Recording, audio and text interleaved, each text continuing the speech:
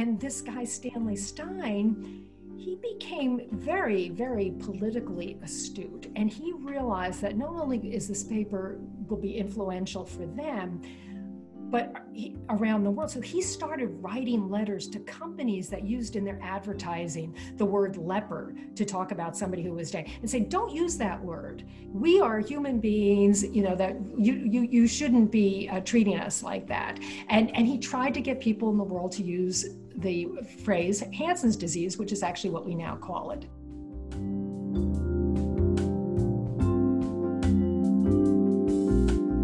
I'm Margaret Talcott, a director at American Ancestors New England Historic Genealogical Society and the producer of its literary programs. We're delighted to be one of three nonprofit organizations presenting tonight's event along with GBH Forum Network. Tonight's talk is particularly meaningful because our featured book is a personal family history, the stuff of my organization. It's also a shocking medical tale of times past in the United States. Pam's story of her family's uh, history and her whole history, uh, medical history, is truly haunting what her her husband's family experienced. Um, and of course, the book's insight into medical practices offers new perspectives on all we're facing, all of us, with this COVID pa pandemic. Uh, before we begin, there's some other quick introductions, first from the State Library of Massachusetts. Beth, go ahead.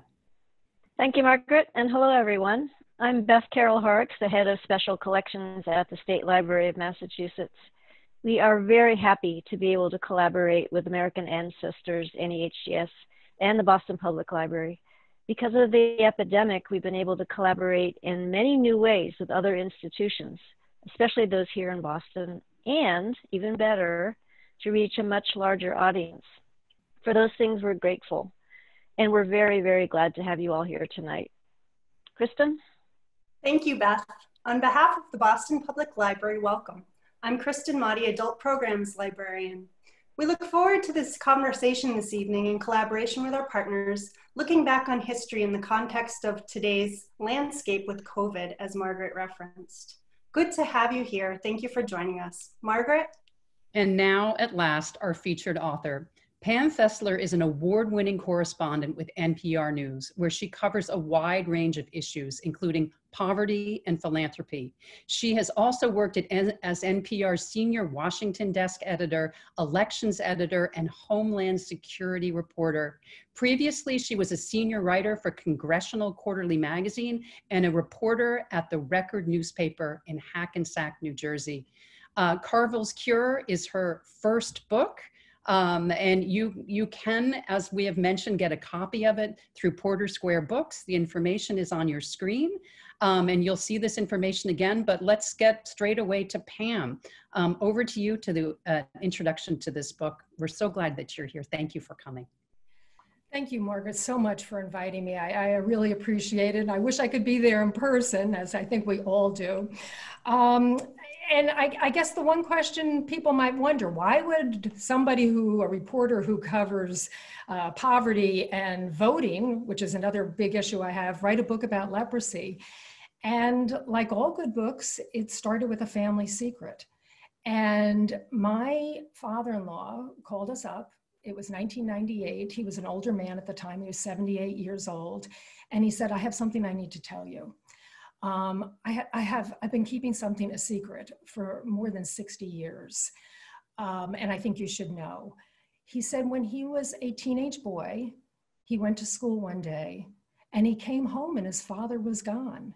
And he knew his father was sick. He had, he knew he actually had leprosy, um, but he didn't know where he was taken. And he actually never saw his father again or spoke to him.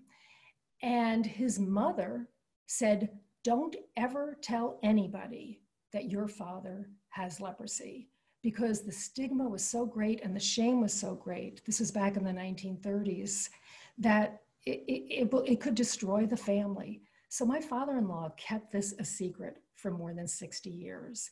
But as an older man, he was 78, he decided he couldn't keep this secret anymore. And, and he, he still didn't know what had happened to his father. He knew his father had died, but he didn't know exactly where he went.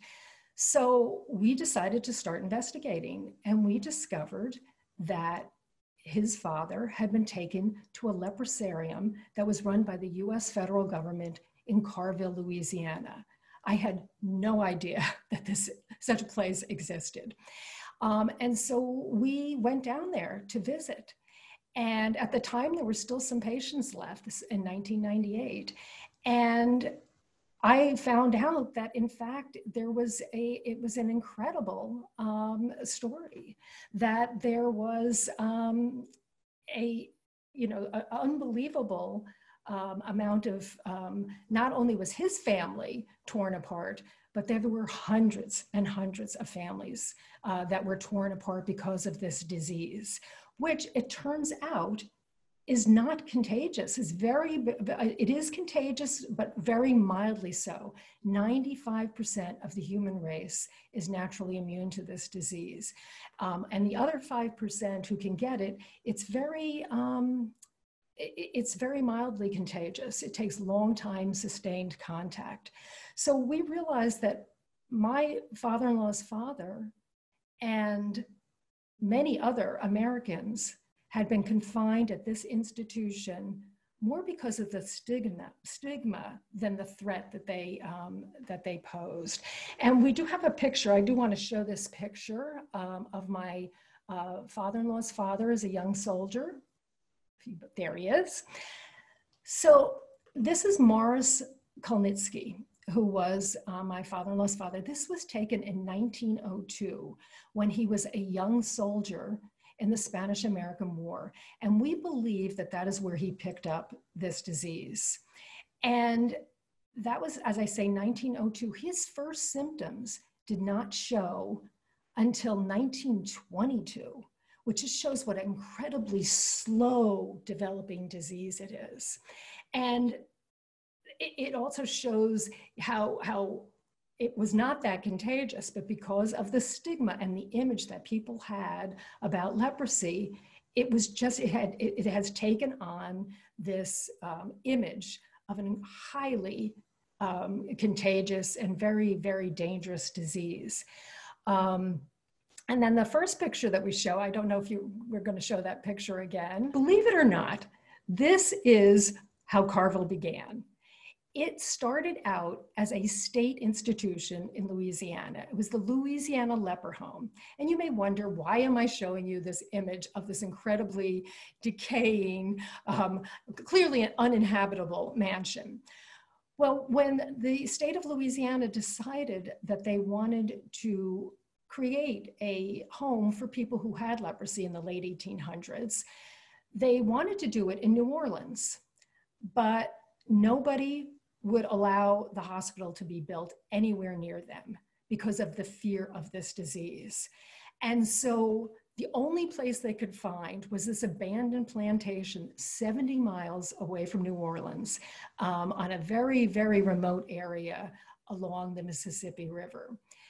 They, the Louisiana Leper Home Board of Control, which was the state organization, took the patients, there was few patients, they were in, um, at the time, what was called the pest house in New Orleans, and they took them in the middle of the night on a barge up the river to this place. And this is what it looked like when they arrived.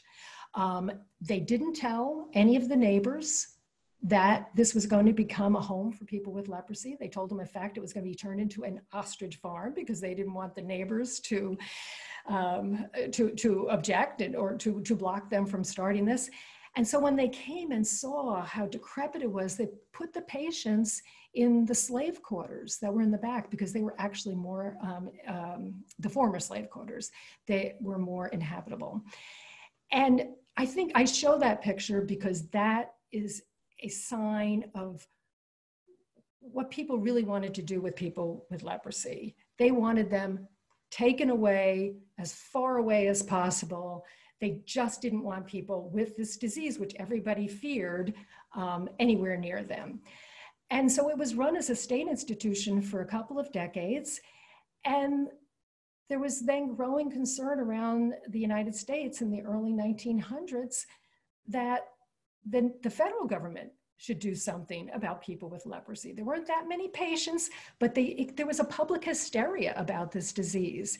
And so in 1921, the federal government decided to create a leprosarium. Once again, they tried all different places that they wanted to build this leprosarium. Nobody wanted it. Anytime they mentioned that they were going to try and build it in Florida and Georgia, somewhere else, the residents went crazy and said, no, we don't want this home anywhere near us. So eventually the federal government bought that um, institution from the state of Louisiana and it became the National Leprosarium. And when we went down there and visited, it's still there today. It's, it's not run as a leprosarium, but the institution is still there. I realized what an incredible, incredible place it was and what incredible patients there were and their stories, not only about what happened to them personally, but also what they did to eventually fight for their rights. And I just want to read one little passage, just kind of set the scene for you, and then we can discuss the book. During the 20th century, leprosy patients went to Carville to be cared for and more often than not, isolated for life. Some arrived voluntarily because they were seriously ill and had nowhere else to go. But many were taken there against their will, sometimes in shackles or locked in the boxcars of trains. One man came in the back of a hearse, another was hidden in a bag. Patients were torn from their families, and babies born inside Carville were taken from their mothers and put up for adoption. Parents abandoned children, husbands abandon wives. Those confined to the leprosarium lost no, not only their freedom, but their identity and their civil rights. Until 1946, patients were stripped of their right to vote. In the eyes of the law, they were seen more as inmates than as the innocent victims of a serious disease. New arrivals were advised to assume aliases to protect their families from embarrassment and attack. Morris Kulnitsky, that's my father in law's father, who shortened his name after the war to Cole, became Morris Krug. In Carville Cemetery, tombstones were more likely to bear a patient's alias and case number than his or her actual name. For more than a century, this was a world unto itself and unlike any other. Now, a little bit about our moderator before we start the conversation. Guest moderator Dr. Laura Kolbe is a physician, writer, and book critic. She is an assistant professor of medicine and a fellow in the Division of Medical Ethics at New York Presbyterian Weill Cornell Medical Center. Welcome, Laura. Thank you so much. It's such a pleasure to be here with you tonight, Pam. Um, what an incredible book. What an unbelievable story. I was shocked um, and then shocked at my shock because I felt that this ought to have been part of my medical education. So, um, what a service that you've, you've done for us. Thank you. Thank you. Um, I wonder if we could start by um, just asking you to fill out um, a slightly more textured portrait of what Carville was like as a place. What was a day in the life like for these patients, for these uh, community members? Right. So it, it changed dramatically over the years. Um, by the time the federal government took over in 1921 and they were starting to bring patients from all around the country, um, I would say there were about maybe uh, 300 patients or so, kind of range between three and 500 patients. And this facility, despite that very decrepit looking mansion, by that time they had fixed up the mansion and they had started building dorms for the patients. And they were connected by these long screened in um, open air corridors because a lot of the patients were in wheelchairs. So that way they could easily move from building to building. And it, it was on, or is, on a 350 acre site along the river. And actually, it's quite gorgeous. Um, there's beautiful um, uh, live oak trees there now. And, um, oh, well, there were at the time, obviously, there were, they're hundreds of years old. And um, it, in some ways, it became although it was a hospital and these patients many of them were brought there against their will and they could not leave um, and there was a fence around it. it it became kind of a haven inside for them because they were not people who were diagnosed with leprosy were not treated very well by the outside world. So inside you had this world, this community. There were old patients, there were young patients, there were children, there were um, people who were highly educated, there were illiterate patients, um, and and and there were um, all races and ethnicities. There were black patients, there were white patients. It, it was a kind of an extraordinary world within a world. And because the federal government realized that these patients were going to, some of them maybe spend their entire lives there because they could not leave unless they were cured, and there was no cure at the time they developed all these social um, activities. They had sporting teams, they had plays, they had music teams, I mean, music um, musicals that they put on, they had dances. Um, they developed, um, there, there's one of the dances. This is a little bit later on, um, but as you can see, they tried to make it as much a world um, as possible that these people could live uh, and, and actually thrive. And the federal government and the public health service realized that if these patients had some semblance of a normal life, even though they were in sense prisoners, that, that they would work towards their own um, um, improvement and treatment. Um, and that, that they would be in better shape if they were better mental uh, uh, condition. Um, the other thing that they created was a newspaper there, which uh, a patient newspaper, and we can talk about that more later. But it became one of the leading um, crusading voices for people with leprosy, not only here in the United States, not only at Carville or in the United States, but around the world. So this all developed over time. I mean, it started in the 1920s when the federal government took over, and it was over the uh, uh, next decades that um, you know th- this community was created. I love that image of the dancers, and one thing that I love about it, besides the sheer effervescent joy of the image, is um, how it illustrates one of the really intriguing paradoxes in your book, which is that this was a place of confinement and in some ways um, the robbing people or suspension of their civil liberties. And yet, inside this community, the paradox is that there were things happening that were more equitable or more advanced, uh, more progressive than what was happening in the rest of Louisiana or the rest of the United States. Um, it's just so fascinating to me. Why do you think that was able to flourish in that community? Yeah, I, I, think part of it was because, um, you know, these patients were bound together. As I, I mentioned, they, you know, just a real cross section of America, but they were bound together by this shared stigma that they had. They were, they were discriminated against by, from, by the outside world because of their disease but inside Carville, they could share. They they they were with people who understood what they were going through. So you're right. Here you are in um, the South, the deep South, in the 20s, 30s, 40s, and you had they they had a small school there.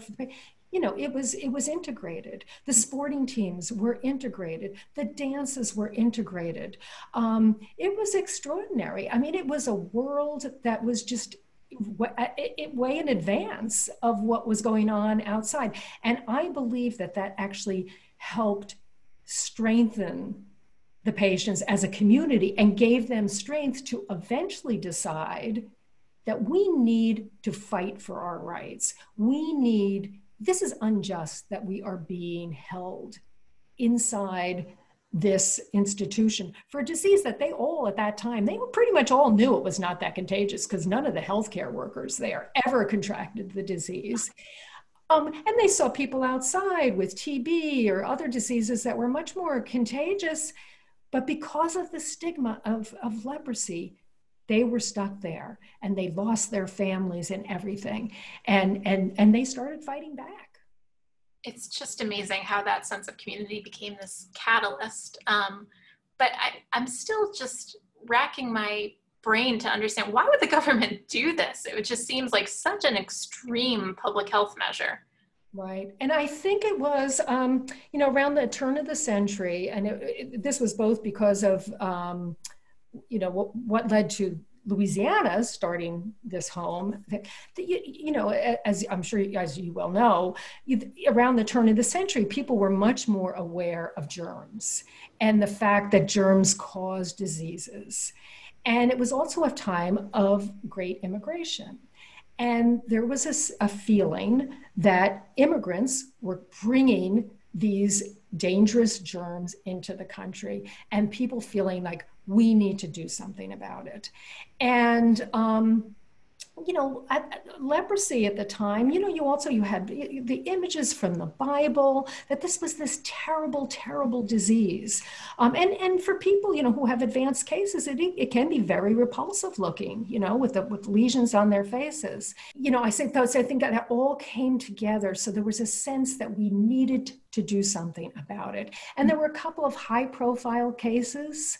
Um, there was somebody, I don't know if you remember the character John Early, who was this patient who came to Washington, D.C., and he just was coming there to get his pension, and he's got a rash on his face and he decided to go see the doctor and the doctor comes in he doesn't really know what it is and john early goes oh what have i got doctor um, leprosy and the doctor kind of freaked out. And they took John Early, this was in 1908, they took John Early, all of his belongings, they rushed him to a quarantine tent on the banks of the Potomac River with a guard where they kept him for months because they didn't know what to do. And it became a huge story around the country that there was a I'm going to use in quotes, leper in um, Washington, D.C. And hundreds of people came from all over um, to see him.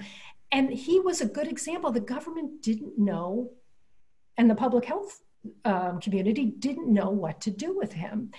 And this went on for ages and ages and ages, but it was such a high profile case that ultimately was the case of John Early that led Congress to create the National Leprosarium. And so it was not only this fear of the disease, but I also feel like there was a lot of anti-immigrant, even though a lot of these patients were not um, they, immigrants, they were foreign born, it was just all brought into this feeling of anti-immigration and that, um, you know, we need to do something about this disease. There was a great feeling that um, Chinese immigrants were bringing in leprosy. And quite frankly, the disease was used as a weapon against them um, uh, you know, to, to, to, to, integrate them. And so I think all of that came together. Um, Absolutely. Actually, I should, should mention one other thing. I'm sorry.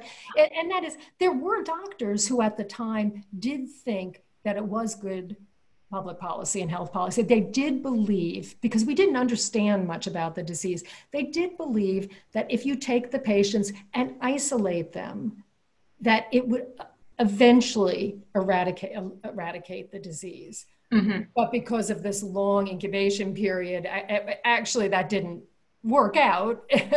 um, instead, it just scared people away because they said, "Oh my goodness, if I go to a doctor and he finds out I or she finds out I have leprosy, I'm going to be stuck in this place. I'm not going to go to the doctor." Right, right, absolutely. And so then it seems like a major turning point was the discovery that this disease was in fact bacterial and treatable like most other bacterial diseases um, with the work of Dr. Hansen, who first saw the bacteria under the microscope and kind of put two and two together. Um, and after that, it's just astonishing to me the, the dramatic level of um, cure um, that people were able to achieve. Do you think now's a good time to look at the? Yeah, yeah, let's look at those. But so, so, yeah, so, yeah, so. Fill that in for us. Yeah. So for, for decades and decades, um, even at Carville, they tried everything um, to figure out how to cure this disease. And, and they really couldn't find anything. But, but the federal government did have a research facility. Um, there were doctors and labs at Carville. And the patients themselves were also very um, eager um, to try and find a cure. So they, they really kind of tried almost everything. In 1941, the chief medical officer there um, whose expertise was tuberculosis, heard that there was this um, sulfone um, um, medication called Promin that had been used on TB patients. It didn't really have much of an effect, but there's very similar, a lot of similarity between the diseases. He said, okay, why don't we just try it on the patients at Carville and see what happens? So they got some volunteers and they started injecting them with this medication. This is a, a patient who, this is her picture in 1940. And as you can see, have, she has a very, very um, advanced case of the disease. And she had not been taking the medication then. She was one of the ones who was given the medication. Here she is in 1943 after taking it for a year or so. Okay, and then show the next picture. That's a 45. And then the final picture. That's 1947. As you can see, she looks perfectly normal. Everything has gone. And this is what they called the, the miracle at Carville. This was the first time that any medication was found that actually did anything to um, alleviate the symptoms. Now, it took decades after that for the science community, medical community to come up with a combination of drugs that we now use today that, in fact, can cure people of this um, uh, disease quite quickly.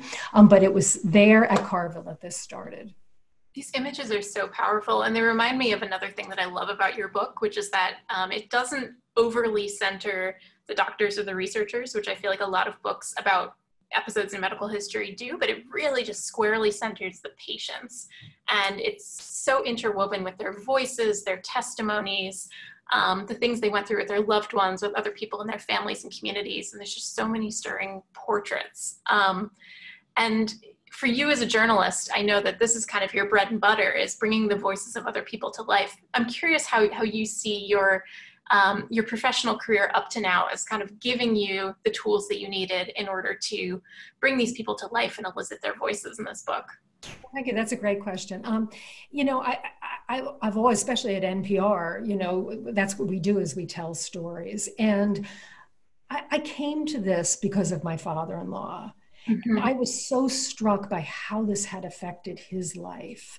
And then when I started researching and how it had affected other people's lives their families not only the patients but also their families and the repercussions that that's really like how i came to this story that this was a a, a, a human story about how stigma and disease affects people and quite frankly, the medical stuff was the stuff that I knew least about and was most nervous about doing, you know, but obviously it's such a, a key part of the story. Uh, but I was very nervous about writing that part because it was not my um, expertise.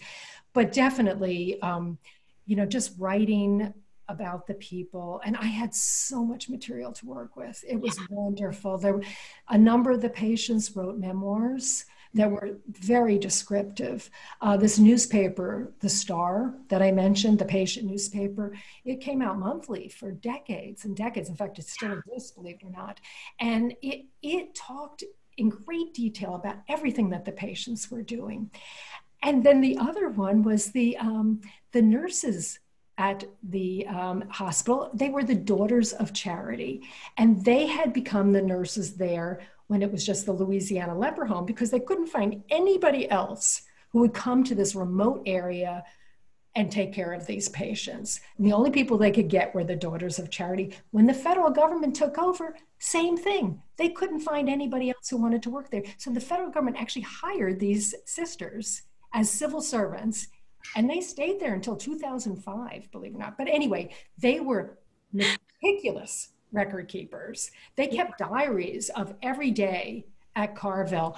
So I, I, I really had a gold mine of, of uh, information to draw from, and it was and it was personal. It was all, you know, you, it was all human, um, you know, tragedy, but also, um, you know, love. People fell in love. There were love stories, um, and and and there was also uh, eventually this fight that the patients banded together after the cure, especially, and decided, you know, we need to fight for our rights. So it, it, it became a major advocacy movement. Um, it, it, the human resilience is just amazing.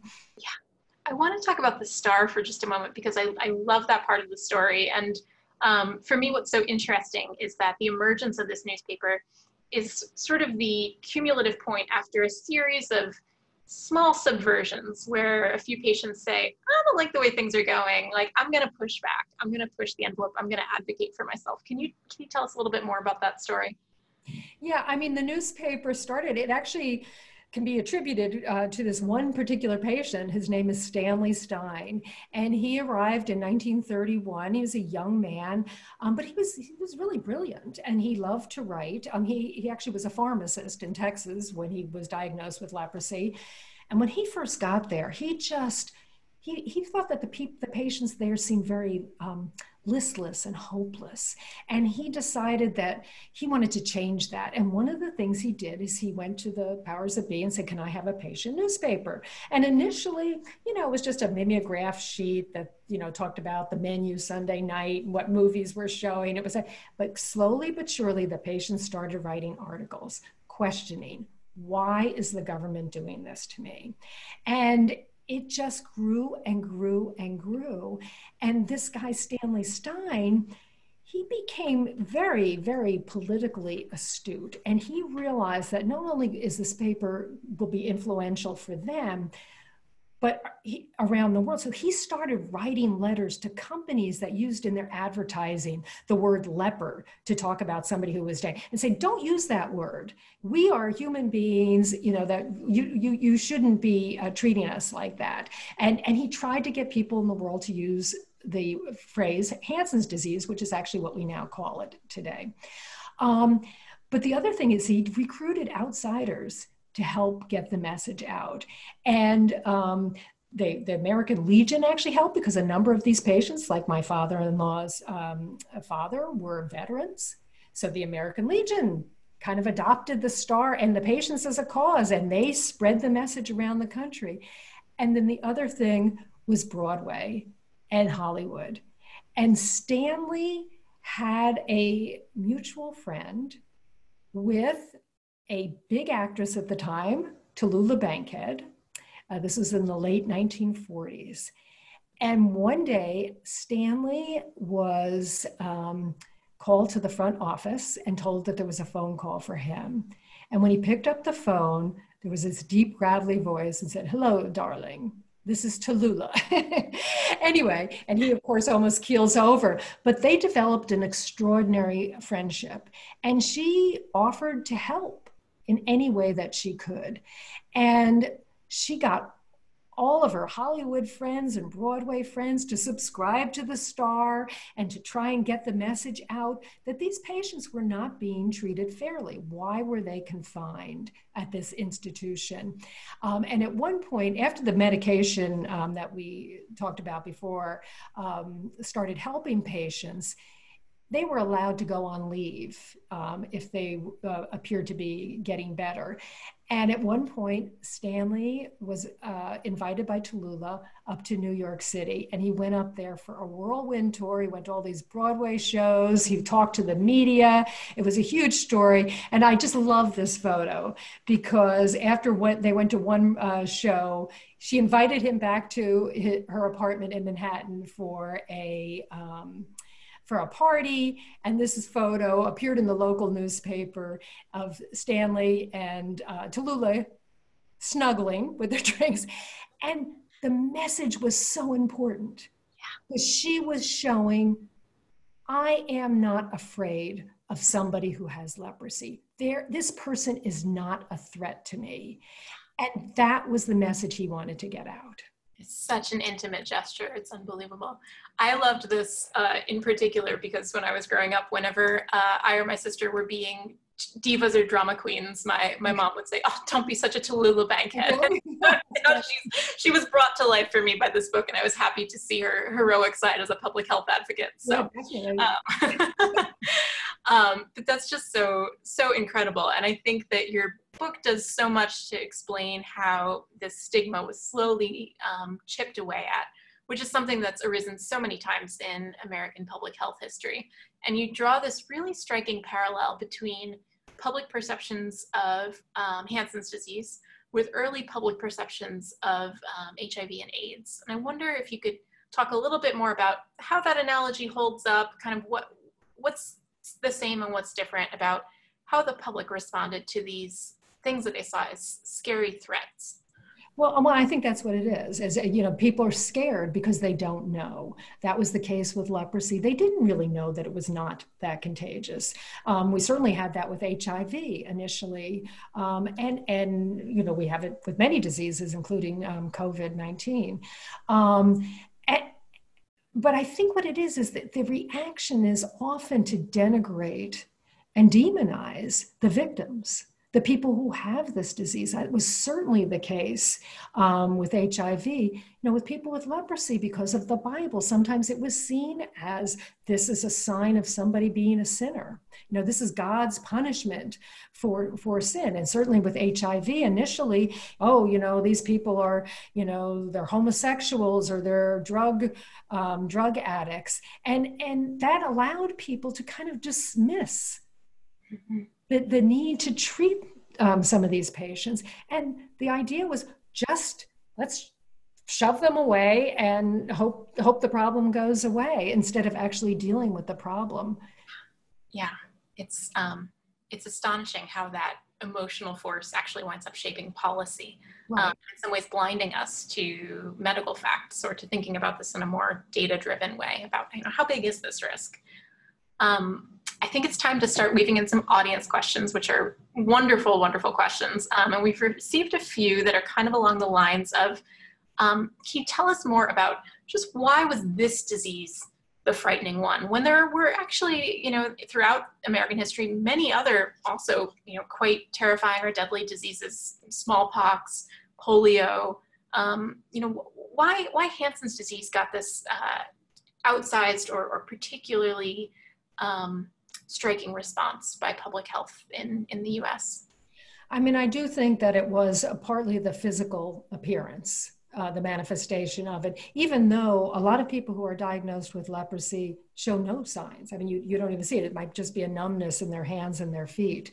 Um, but I do think that, you know, this image is so ingrained in our culture, um, you know, for centuries people had this image that that that leprosy was um, one highly contagious and terrible and i do think the bible i mean it just really um, you know so as i say ingrained that image that this is not only um, a disease but a sign of somebody being evil or bad and um, you know I, I, I also think I, I didn't realize this at the time but there was Ben Hur was not only a movie, but it had before that been a book, which was the most popular book besides the Bible in the late 1800s. And I had no idea. And in that book, as you might recall, his, uh, Ben Hur's mother and sister both are, contract leprosy and they are cast out of the city. And he describes them in incredibly um, terrible uh, description of you know their skin falling off.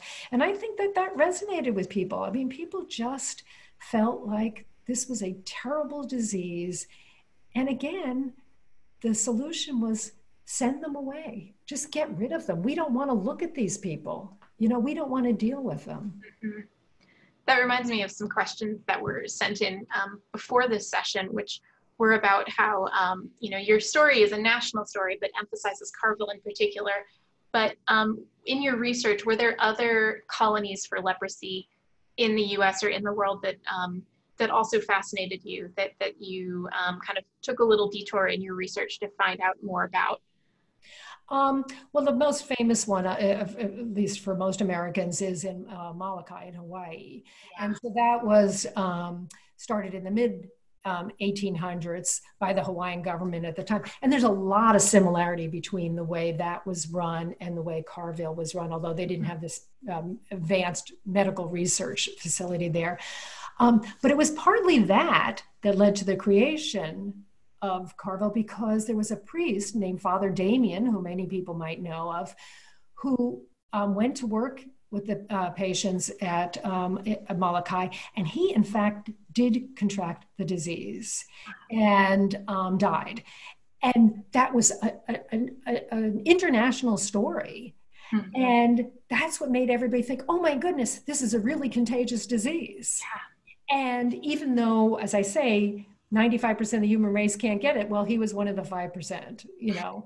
And so that led to that. So there was that. Um, around the United States before Carville was created as a federal institution, there were pockets of. Um, of I wouldn't even really call them uh, leprosariums, but uh, patients who were kept they kept in what were called like pest houses at the time, you know, around the turn of the century, people with contagious diseases. There were some in San Francisco, and then in um, off the coast of Massachusetts, in um, on Penikese Island, around 1905 um, they set up a, a, leprosy colony for a few patients.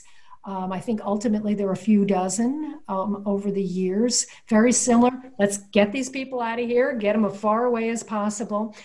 When Carville was created as a federal institution, those patients were all taken and shipped down to, to Louisiana because the states didn't want to have to deal with this.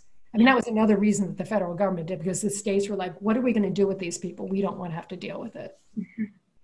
We've gotten several questions about um, what the current uh, status of Hansen's, Hansen's, disease is right now, um, either in the US or internationally, and in particular, um, how severe is it? Is it treatable now? Um, what, what's life like for people with Hansen's disease around the world? So um, there are about 200 new cases a year diagnosed in the United States. But around the world, there are 200,000 new cases every year that are diagnosed. Um, and they're mostly in Israel, I mean, Israel, um, India, and um, Brazil. And um, there's a, a, variety. I mean, here in the United States, when somebody is diagnosed, they can still be treated. The federal government still runs outpatient clinics, the National Hansen's Disease Program, um, and there's actually one. Their main facility is in Baton Rouge. Um, it's sort of an offshoot of, of, of Carville. Um, and right now, patients, if they get the, the treatment that's available, within about within about 48 to 78 hours 72 hours i've been told that they are no longer contagious at all if they take this drug. And that within about a year it's completely the the, the germ is completely gone um, from their bodies. So it is easily curable if people get the disease but the stigma still remains.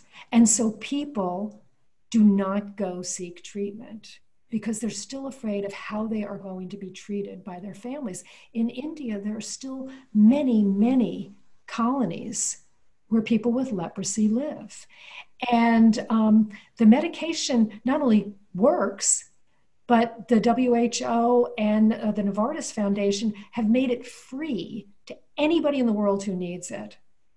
But still, people don't um, get treated. And, and then they get these they very advanced cases yeah, it's hard to imagine that a disease that's so easily treatable today um, still lingers with us. Um, yeah, and can I just say one other thing which really shocked me was of the 200 patients in the United States, um, they did a survey of the patients who were admitted to the National Hansen's disease, disease, disease program, and about 50% of them said that they, when they were first diagnosed, they contemplated suicide because they were so worried about how they would be treated by their communities and by people that they knew. That's even today.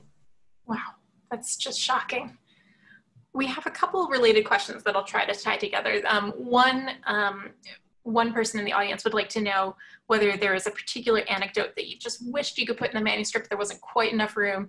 And then a related question is um, just tell us more stories about the small acts of subversion or kind of self self advocacy that that people did. Here, um, the the questioner said, uh, you know, they heard that patients snuck out of Carville from time to time. So either an anecdote that's in the book or one that you know kind of got left on the cutting room floor, but a little bit more about what these patients were doing. Yeah, I mean, it was kind of interesting because the patients, they had what was called the hole in the fence. So that was surrounded by this, you know, um, barbed wire top chain link fence. But, you know, it was a big facility. So in one little corner, the patients had lifted up one part of the fence and they used to sneak out. And um, sometimes they snuck out and left for, for good.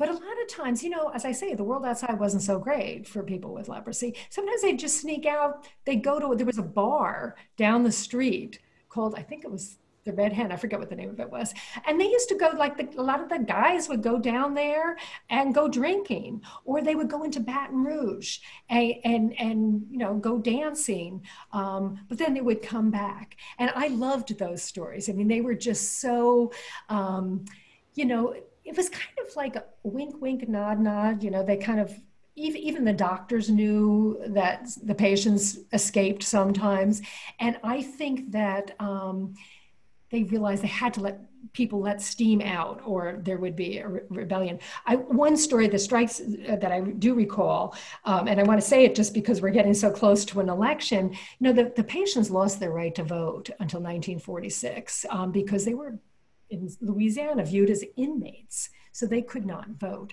Um, and there's a story about this one patient who every election would sneak out and, and go vote somewhere. And he did it for five elections.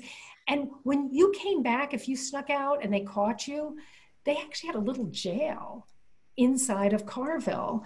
And you might have to go to that jail for like 30 days or 60 days. So this guy would go out and vote, come back, and he'd be stuck in jail for like 30 days. Um, but he still went and voted. That's amazing. uh, it seems like a time to nod to the present day. And um, you know your your book because of you know the time scale in which books come out obviously cannot directly reference covid um, but i'm curious since the book's emergence in the world um, what thoughts have you had about how the story of carville um, can teach us something as we live the story of covid currently well and this is something i would definitely love to have your perspective on too. Um, um, I, I, I think what struck me is just how the lack of knowledge um, just leads to misinformation and leads to people responding to this disease in, in the way that they their prejudices kind of tell them they should you know that that decisions are often made not because it's good um, medical practice or good public policy but because people sort of think oh well this you know we don't really know you know this is this this is what i think we should do. And you know that it was sort of the opposite with carville. You know they they shut people away when it wasn't that contagious but here we have a disease that is you know highly contagious and a lot of people don't take it seriously. But i think a lot of it is because of this misinformation and and you know a, a lack of um, knowledge sometimes about exactly how diseases are, ca- are caused i think that's absolutely right yeah yeah, it's it's incredibly striking. What what has the legacy of this been for you and your family? This and sorry, this will be I think our last question just because of time. Right. I'm sorry. The legacy for my family. Yeah. Um, well, um, I, I, guess you know I don't want to give away the end. yeah, that's fair. um, but yeah, it, it was very profound impact on our family. And I, I, think that, you know, the interesting thing that I found out is that there were actually um, much more fascinating stories than my family story. And I, um, I have since I wrote this book have had all these people who've come out of the woodwork people who said oh i had an aunt who was there or or people who were actually patients there wow. and it, it's just wonderful to be and i think that the long the best thing um, I, I, just think that, that the human resilience in this story there was so much hope and um, you know that's the thing that just gives me hope sort of for the future of us dealing with future diseases or the current disease and um, I, I, guess do you want me to do they want me to read the uh, sort of final I think that'd be wonderful. Before you do, I just want to say that so many excellent questions have been asked, and my apologies for not getting to all of them. But Pam, I know that you've you've generously said that you'd love to address these questions in some other time. Um, do you have a, a way for people to contact you? Yeah, I know there's lots of questions. Um, so if you just send a note, just uh, info at pamfessler.com, I will be happy to answer your questions. Um, okay, I actually would be interested in your thoughts about this as well. Um, and I hope you read the book so you have even more questions. um, I, I, so, so this um, little excerpt that I want to read, um, this came, uh, this is after World War II the patients they were really invigorated like all americans. They they were very much they were very patriotic. They had victory gardens. They really worked very hard to support um, uh, the, the, the american cause. But then the war was coming to an end and they realized they were still stuck inside of carville. And the unfairness of that really resounded with the patients and um, I just want to read this one little passage, which this is when they really began to fight for their rights. The patients were clearly emboldened by the Allies' impending victory in World War II. America was on the threshold of leading the world into a new era of human rights, and Carville patients did not want to be left behind. Don't Fence Me In, a hit tune at the time, became their unofficial anthem. The song seemed to have been written expressly for them. While the hospital administrators expected protests from Stanley Stein, he was the newspaper editor, and some of the other more defiant patients, it was a shock when the very proper Betty Martin weighed in. She was a debutante at the time. Her rage had been building as she watched friends who were discharged still being treated like pariahs, even though they no longer tested positive for the disease. Some former patients were asked to stop shopping at the local grocery store or to take their children out of the local school. It was no wonder that some of the patients who were cleared for release began to have second thoughts and consider not going home. Betty poured out their collective frustrations in the July 1945 edition of The Star with a column entitled, Why Am I Not Free? Why am I, an American, denied my rightful heritage? Liberty, justice, and the pursuit of happiness, when my only crime is being sick. She began a long list of questions. The article resonated not only at Carville, it was reprinted in the Louisiana Legionnaire magazine, and copies were sent to members of Congress who contacted the Surgeon General to find out what was going on down at the nation's leprosarium. Betty received letters from people around the country who expressed sympathy. Johnny Harmon, that's another patient, worked at the Star as both a photographer and an illustrator. He drew the cover art for that issue of the paper and perfectly captured the patient's distress. The illustration shows a Carville patient staring longingly out his window at the American flag by the front gate, and beyond that, to the barbed wire topped fence. A John Doe letter sits on his desk. A wall calendar has the words July 4th, Independence Day, buy bonds for freedom. A question mark hangs over the patient's head, and the caption reads, with liberty and justice for all. And then the story goes on from there. We at American Ancestors NEHGS are honored to be part of this event, presenting such heartfelt American stories and working with fine partners here in Boston. Uh, Pam, I know you're down in Washington, and Laura in New York. Um, we want all of you to know out in the out in the outer world that our doors our virtual doors at american ancestors are wide open to anyone looking to research their own family history um, like pam's or any history that that you have um, on all sides. You can connect with our genealogists on the phone over twitter or through our website americanancestors.org where you'll also find downloadable research guides free educational resources and many other author events and webinars to come as well as videos of past events, uh, many of them with the library and the state library. Our mission is to educate, inspire, and connect. Um, driven by our love of history and stories, we, this team of nonprofit partners, all of us tonight, will be presenting more of these authors' talks in the weeks and months ahead. Um, and meanwhile, though, back to tonight, we really want to thank all of you. We hope to host you again um, virtually for these various events. Um, but for now, a safe and inspirational evening to everyone. And thanks for joining us. A good night to all. Pam, Laura, Kristen, Beth, uh, Annie, everyone, thank you so much.